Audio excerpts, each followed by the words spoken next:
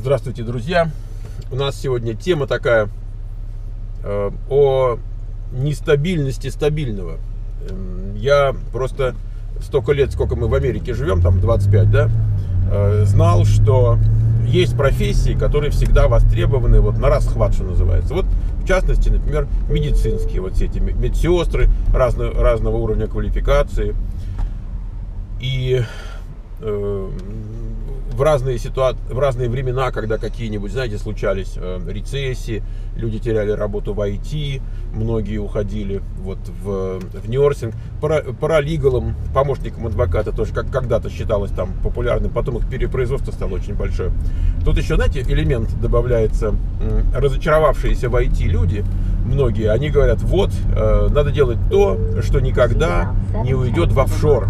Вот паралигал не уйдет в офшор, а Ньорсинг не уйдет в офшор. У нас э, население стареет, у нас все больше и больше процент вот людей, которым требуется уход и так далее, и так далее. И все эти аргументы мы как бы слышали вот, вот последние 25 лет.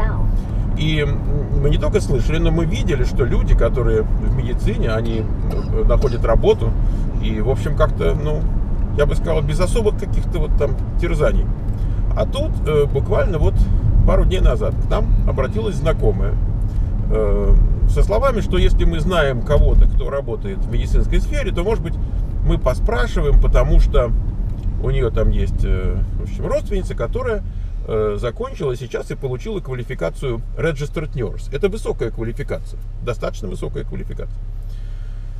И как мне э, сказал вот один из людей, к которым я обратился за помощью, значит, человек мне это сказал, ты понимаешь, э, чисто технически, если ты посмотришь на статистику, сколько там вот нужно нерсов, registered nurse, и сколько реально работает, то получится, что вроде как их не хватает. С другой стороны, получается, что вот работы сейчас нет. И какие-то советы мне для девушки все э, дает. Вот пусть они там, там заполнят форму, а ты давай мне резюме, я, может быть, кому-то отнесу. Другие говорят, я резюме отнести не могу, потому что там такие люди работают, что если я отнесу, так они на зло сделают. Ну, в общем, такие всякие разговоры. Но вот, э, просто для того, чтобы вы представляли себе масштабы перепроизводства нерсов, а многие пошли в это дело вот буквально в последний кризис, да, когда люди теряли работу. И вот... Э, Значит, вот сейчас это перепроизводство произошло явно. Значит, и вот э, женщина работает в госпитале, э, в родильном отделении. И она говорит, что был митинг у них недавно, и там рассказали, что было пять позиций освободил. И вот это, на эти пять позиций они объявили, ну, типа как конкурс, я не знаю, как у них это работает в тонкостях, но вот объявили, что есть пять позиций. Пришло 400, 400 э, заявлений. Они по бумагам, по документам, по резюме э, из 400 э, от, отобрали 16, с кем поговорить. И из них уже 5 реально, ну, в смысле, они их проинтервьюировали и 5 реально наняли. И практически все, э, с кем я говорил, я разговаривал с тремя, э, мне сказали, что трудно найти позицию, где требовалось бы меньше двух лет опыта и, конечно, если есть выбор, так чего же брать меньше, когда есть э, и два, и больше. Поэтому вот такая интересная ситуация. Эм, я думаю, что на самом деле э, оно не так страшно, как вот эта вот пропорция 400, 16, 5.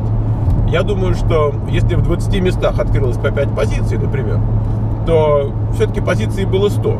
И те же самые 400 человек шлют свои заявления на все вот эти 100 э, позиций. То есть, может быть, там соотношение все-таки не не 400 к 5 позициям, а может быть 400 там, к 100 позициям.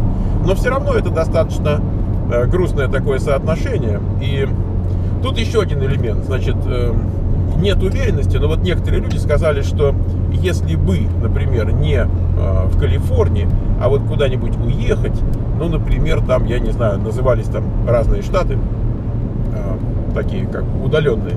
Вот если туда поехать, то вот там э, не просто их не хватает, а там даже платят больше, чем в Калифорнии, там, если это Nurse, но просто не все могут поехать, там, в данном случае, там, женщина замужем, и у нее муж тут работает, он как бы не может никуда ехать.